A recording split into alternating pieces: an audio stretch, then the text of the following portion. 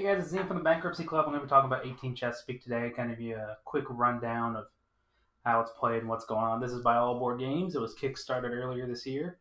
This is a pre-production copy, but it's pretty much what you're going to be getting. But there's also some options, some uh, fancy art on another board that I don't have set up right now.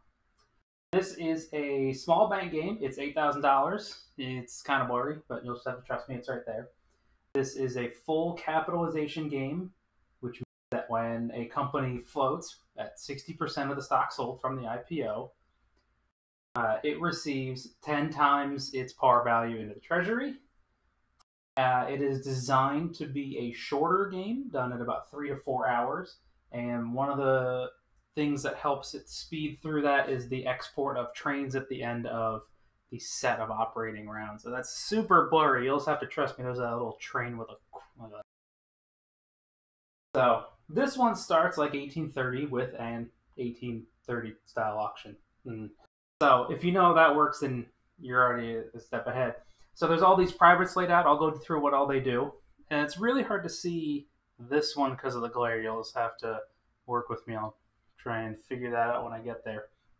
So you can, on your turn, buy the cheapest one or place a bid on a more expensive private. Buying the cheapest one, you simply pay the price. In this case, it says 20 bucks. You buy that and you're done. Uh, to place a bid on a one of these other privates, you need to pay five dollars more than the price, or five dollars or more than the the list price, or you need to beat the existing bid by five or more dollars in increments of five. So you can on your turn you place a bid on one of them, go around and place your bid on another one, and so on and so on and so on, until someone buys the cheapest. When someone does that, this goes away to the the purchaser and then you resolve all the auctions on each private in order with everyone who has currently had a bid. If at any point you get to a private that doesn't have a bid on it, the auctions stop, and then the normal turn order begins again with either purchasing cheapest private or placing bids on the more expensive ones. And I have these out of order. Yeah, that looks better. So, what do they do? Um, Clear them off the board to show you what's up.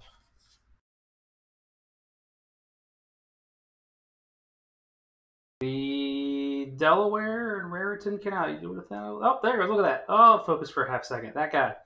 It's 20 bucks. Provides you revenue $5 and it blocks this hex until it's owned by until it's owned by a major corporation. Oh, the camera's having a hard time. Let me see if I can focus it. Yeah, that'll work. All right.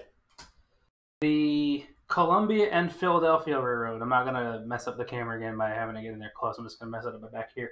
Columbia Philadelphia Railroad blocks these two hexes. Is that right? C and P. Yep. Okay. Blocks those two hexes until it's purchased in by a major corporation, and once it is owned by a major corporation, that major can place a combination of straight and or gentle curves into those hexes as an additional action on its turn. The Baltimore and Susquehanna does the same thing right here. And they have some little iconography on them. And it even says extra build. Trust me, I don't want to mess up the camera again. But those both of those companies, the Columbia and Philadelphia and the Baltimore and Susquehanna are extra builds into those block hexes.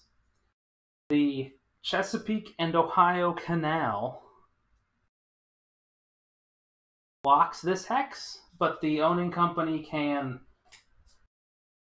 place as their entire action place a station marker into Berlin and also build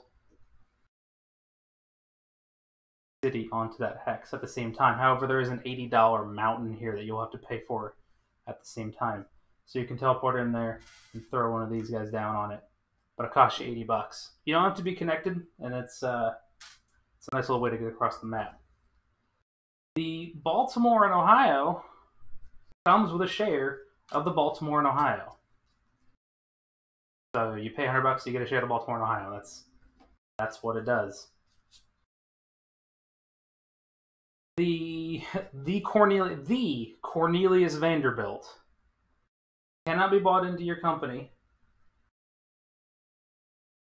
You get to buy the, the man himself. Um, and it comes with a random president's share. So the beginning of the game, you would take all the president's shares, shuffle them all up,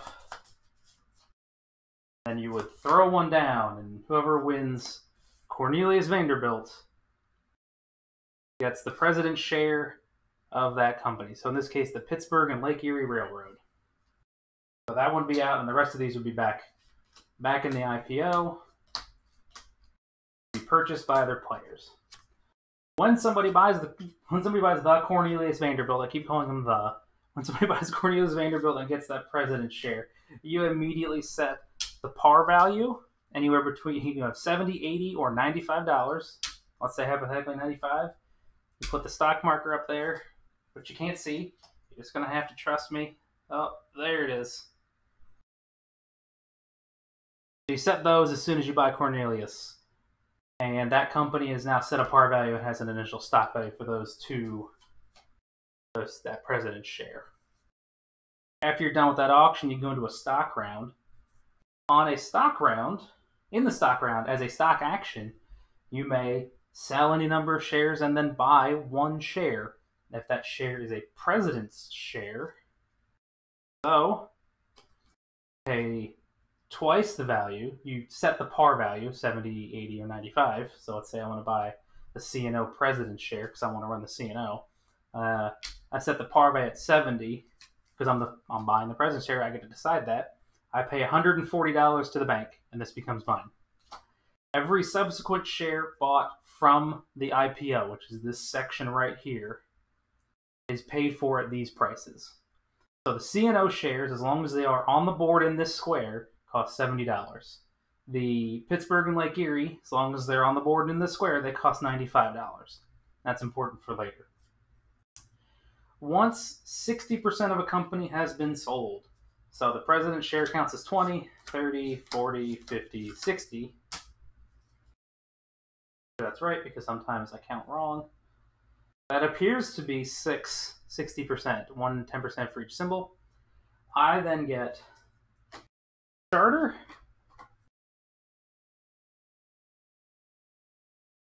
And I get 10 times the par value, which is 70, so I get $700 into the bank. That also, you get a number of home station and additional station markers of varying prices. Your home station will go on the board. You, there's two more. There's one for your stock value and one for one for your stock value, which you can't see. There it is. Stock value. And there's one for a revenue tracker, which I do not have set out. That's just a hand you know, aid to help you remember what company runs for. Players can go around buying buying stocks. If you sell stocks, every time you sell a stock, it goes into the bank pool, where it says right there, bank pool. Um, however, shares in the bank pool pay dividends to the corporation, which is something I'll get to in just a minute and bank pool limit is 50% of a corporation, which means that no more than five shares can be in the bank pool. There's already three out there, and I really want to sell two more. I can. Sell two, I will get $70 for each share sold, and then it goes down for each share put into the pool.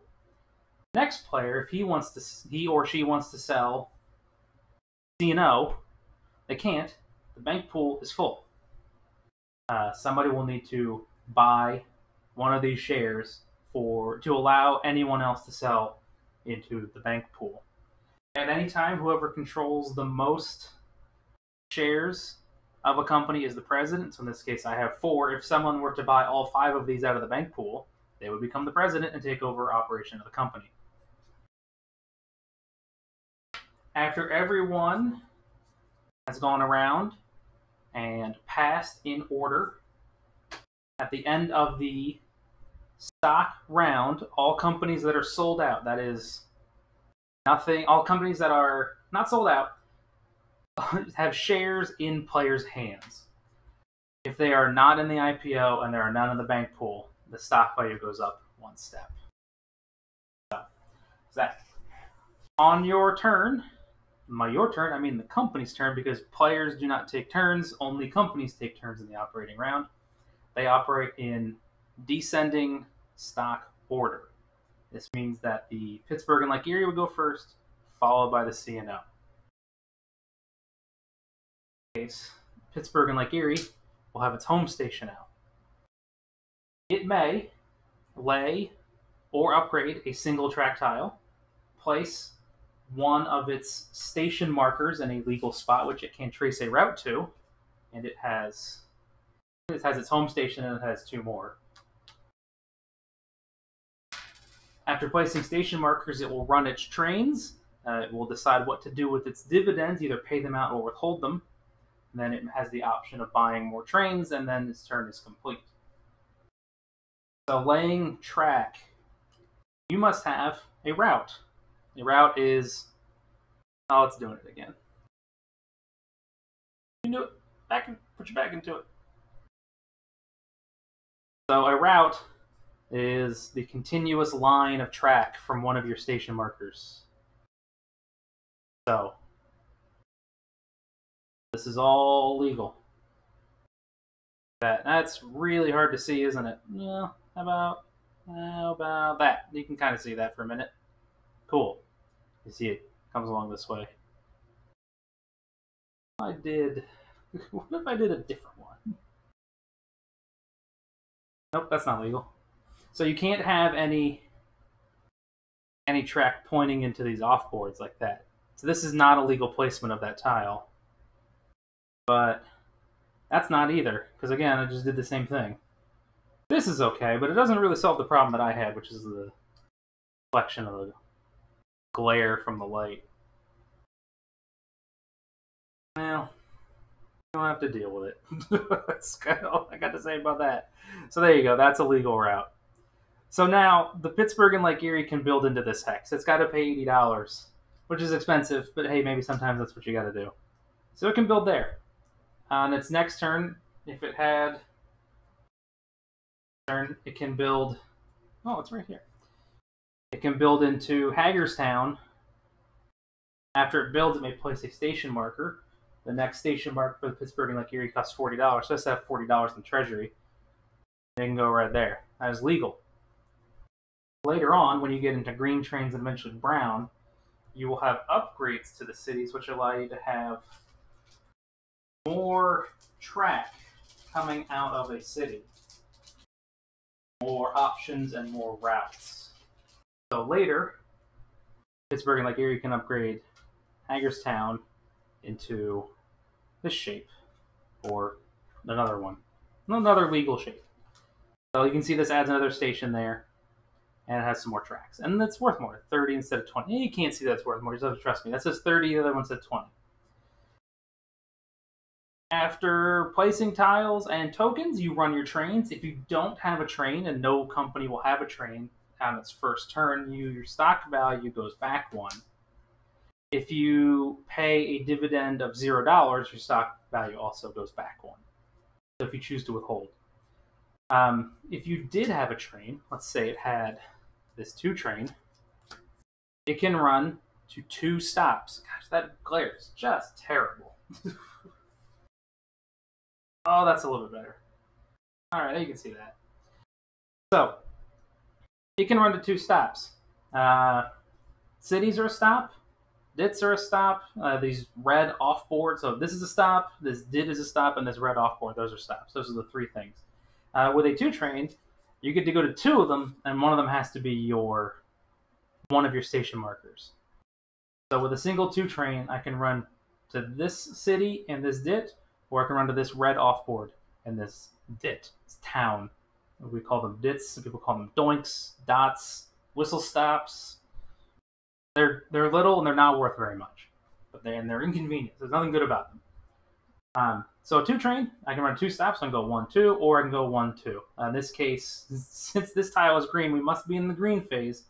Uh, the red off boards have different values depending on the phase of the game. So Pittsburgh is worth 40 in the yellow phase, and 50 in green, 60 in brown, and 80 in uh, gray. Since I have placed a green tile on the board, that means we must be in the green phase, so I will use the green value. In which case, Pittsburgh is worth 50 and this dit is worth 10. My other option is to run this town, this city, which is 30, and this dit, which is 10. So I would choose uh, 60 because that is the most. So you will run it for the most. I can then pay out or withhold. If I withhold, I put all $60 into the company treasury and the stock value goes back one. If I pay it out, I pay 10% of the dividends to each share outstanding or in the bank pool. Gesture into the bank pool, just trust me. So that means that if I own 60%, which is the maximum, I would get 6 times 6, I would get $36. Um, if there are any shares still here in the IPO, they pay nobody. So let's say there were four shares left. I bought all six shares and they're mine, and nobody else believed in me. They left four shares over here. These four shares pay the bank, which means you just leave the money in there. Uh, if they were in the bank pool, they would pay the money to the treasury of the company. So if I paid out six dollars, I owned six, and the bank had the bank pool had four. I would get thirty six, and the company would get twenty four. After running your trains, you may purchase one or more trains provided that you have room to buy more trains. And I'm going to try and do this without messing up the zoom. Let's see how this goes. There is a really awesome chart on here. You can do it. Come on. Oh, there we go. Train limit. Like a really, there we go. So you can see train type 2, train limit 4. There are seven of them. There are uh, train type 3, train limit 4, train type 4, train limit 3. So at the beginning of the game, you can have four trains.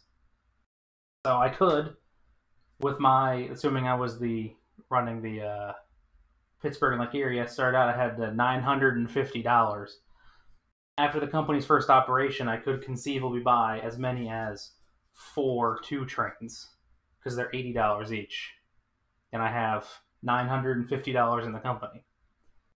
Later on, that's going to be a problem because the trains get significantly more expensive, um, ramping up you know, to three hundred dollars, five hundred dollars, six hundred and thirty dollars, and finally nine hundred dollars.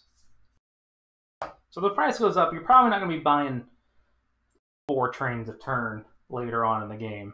But hey, man, I don't know your life. Um, if you don't have a train and you do have a route, so in this case, this company has a route, it must own a train. If, for whatever reason, it looked like this, where it had just the home station and nothing else was built, it doesn't have to own a train. But because it didn't pay dividends, the stock value still goes down. It still goes back. Okay. So every round it doesn't have a train, it still goes back one. keeps going back. Eventually it hits the wall and then it starts to slide down. But you're not obligated to own a train because you don't have a route. There are some uh, interesting shenanigans you can do with that. You may optionally elect to purchase from another company a train at the end of your turn after running. Both presidents must agree to the price, and at the end of your turn, the operating company must end with the same number of trains or more, which means that a company cannot sell trains, it may only buy them. So the Pittsburgh and Lake Erie ends its turn with no trains. I've ended up in a position where I am also the president of the Chesapeake and Ohio. Okay, so looks. Let's say hypothetically, I have this situation, and pretend there's a whole bunch of money here and there's no money here. Okay, Pittsburgh and Lake Erie must own a train because it has a route but it has no train. So it must buy the cheapest. It must buy a train from the bank for eighty dollars, or it must buy a train from another company for any price, as long as the two presidents agree. since I am the president of both companies, I agree to whatever price I set because I am awesome and I always choose correctly. so the Pittsburgh and Lake Erie can spend a thousand dollars for a two train. I mean, the two trains aren't worth a thousand dollars, but there maybe there's a reason that you need to move money from one company to another. Maybe this company now is going to buy a whole bunch of trains. There's a lot of strategy that I'm not especially good at it, but I know it can be done. So that's an important thing to do: is that trains can be bought between companies. Okay, as long as both presidents agree, and if you're the president of both companies, boy, I hope you agree because if you don't, something weird's going on. Okay. Buying trains pushes the game forward, as does the exporting of trains at the end of the OR. So you can kind of see over here there are multiple ORs depending on how far into the game you are. You start in the yellow phase with yellow trains. You have one operating round and then a stock round. After each set of operating rounds, before going into the next stock round, you export the top train, which means to remove it from the game. So, at the end of the first operating round, let's say six two trains have been purchased. Okay. There's just one left. So we're going to go from here to here. We've passed through this, uh, you know, no train, the export train symbol. We take the remaining two and we get rid of it. It's out of the game. That means when we start the next OR, the first train available is going to be one of these threes. Okay. Now, as soon as someone, you don't, uh, you can see that this train is green. But when you start an operating round, you look at what the current phase is, not what the next phase is. So we started this operating round with no three trains purchased, which means that we do not go into the two operating rounds until the next set of ORs. So we go through this single OR here, right? People will buy, companies will buy some number of trains let's say four, for the fun of it. And then we end. Again, we go through the export train, we get rid of one of these, we go into a stock round. Things happen in a stock round, we go to uh, start another set of operating rounds. So you come back over here, somebody has purchased a green train, so we are now in the, the green operating round, which means that there are two of them. So we go operating round, operating round, export. Okay. The exporting of the trains will help push the game forward. However, you never export a permanent train. So once you get to the fives, you never export a five or higher train. Twos, threes, and fours only. And then you'll have, you know, once you someone buys a five, you're going to have three operating rounds for the rest of the game. The twos. Um, again, this is a super nice thing that they figured out some time ago is that it's got twos are rusted by fours, threes are rusted by sixes, fours are rusted by D trains. And if your train is rusted, it is removed from the company immediately as soon as the uh, that rusting train is purchased. So if I have a whole bunch of twos and someone buys a four, I immediately lose all of my twos, even if I haven't taken a turn with one of my companies yet. Which is probably going to be tough. Hopefully, you've planned for that. Um, and that continues with the threes and the fours. The fives never rust, so they are the first permanent train. So once you get a five, you never have to worry about not running a train. Um, there are a couple of sixes, two sixes. Once somebody buys the first six, the D trains become available. There's only two sixes, so however long those last. The D trains become available. The D trains are very expensive. They are nine hundred dollars, but there's a couple of things about them. One is that they have an unlimited range, which means that if you have track built all the way across the entire board, I was going to try and set this up, and then things happen get busy. They have an unlimited range, which lets you go all the way across the board to over that, and then almost there.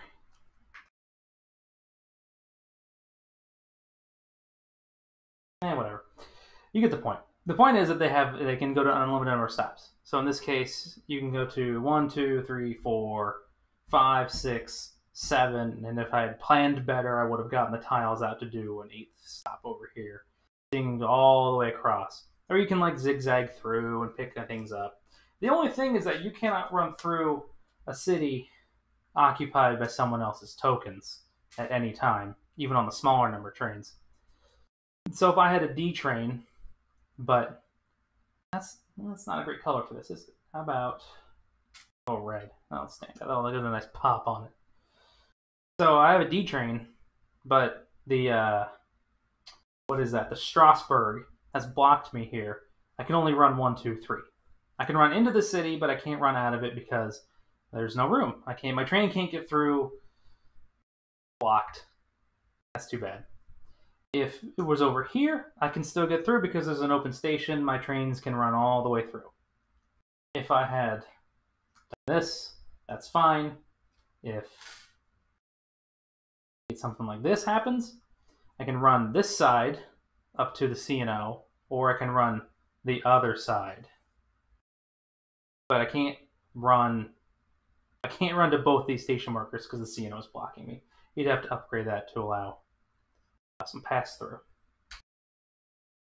The uh, bit of a digression there. The D trains additionally have a trade-in value, a discount price. Nine hundred, or it's a uh, seven hundred dollars. It's in there. You can kind of see that. That's good enough. What that means is that if your company owns any other train that hasn't, you know, any other train, which is typically going to be a five or six, possibly a four, you can trade it into the bank for a $200 discount and buy a D train for $700. So if somebody, if a company owns a four train and has $700, they can trade the four train into the bank pool and buy a D train, which then rusts the four. So it's really great for that person. If you own a five or six, you can do that too. So it is a slight discount to the D trains, which have unlimited range. If you don't have a train, your company has, I'm sorry, if your company has no train and it has no money, you have to buy a train. You must buy a train, which means spending your personal money to buy a train, which you don't want to do because personal money is how you win. Company money counts for nothing. Only player money matters. Spending player money to buy a train is usually a bad plan, unless you're smarter than me, which probably are. So, spending $300 out of pocket, that's a thing. Maybe you had to do that. Probably don't want to spend $900 out of pocket. Don't want to spend your own money. You certainly don't want to sell your stocks, because if you don't have enough cash, you got to start selling stocks to make up the difference. So if you have $500 and you got to buy a $900 train and you're selling stocks that were 50 and $65, maybe maybe you're in trouble. once you get to the uh, the first four train, oh, sorry, once you get to the first three train, you may purchase in the privates. The company may purchase a private for between half and double its face value. So the Chesapeake and Ohio Canal, you can pay 40 to $160 for it, from company money to player money. And that private company goes into the company charter, and then it has the power, which in this case was the teleport with the token. Uh, the Cornelius Vanderbilt has no buy-in, no buy-in, no buy-in and instead he goes away when that company operates. Buys a train. Buys a train. Goes away when that company buys a train. Um, game ends when the bank is broken or if a player goes bankrupt. Like like I said, buying a train out of pocket, paying your own money. If you don't have enough money, um, the game ends. So possible. I have once beaten somebody game where they went bankrupt. I went bankrupt and still beat them on stock value probably doesn't happen where you end up in first. But the game does end in bankruptcy, or if the bank breaks, where you know you spend all eight thousand dollars is in player hands or company players of the company. Um, other MacGuffins, you have the the fun ooze, which are cities that don't that don't touch. There's only two of them, Baltimore and Philadelphia. When they upgrade to green, you get upgrades where they are you know two stations on the same hex that don't intersect. They do later in, in brown. They connect. And then there's a single gray upgrade for the ooze. People call them double O's. We locally call them ooze because it looks like an ooh. Uh, Washington D.C. also has a special a special upgrade.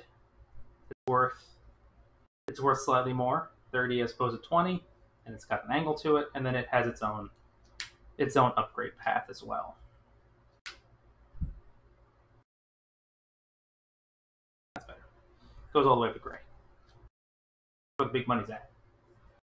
Um, I like it.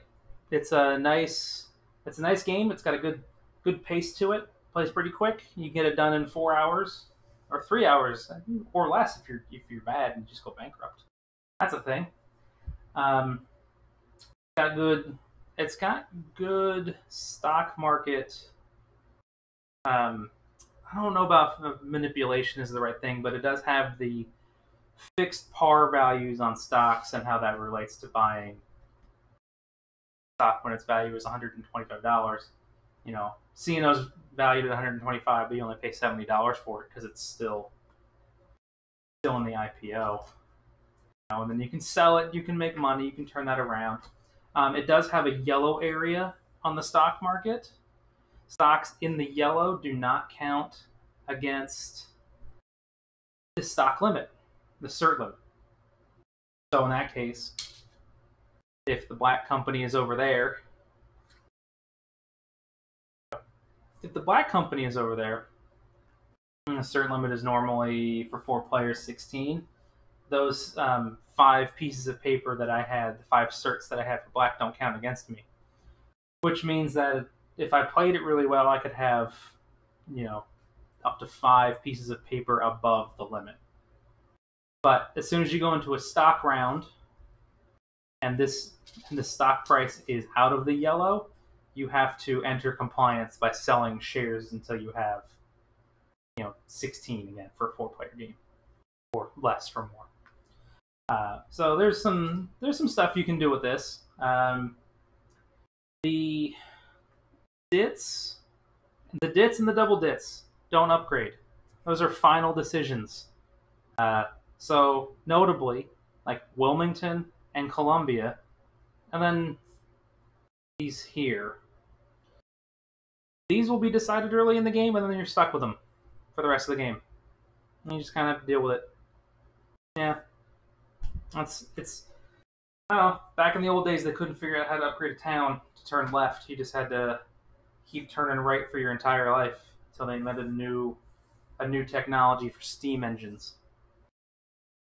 Um, yeah, if you can get this one, I would. It fills a nice, uh, fills the nice uh, space where you want to play an 1830 style full cap game, but you don't want to spend six hours playing chicken on the auctions.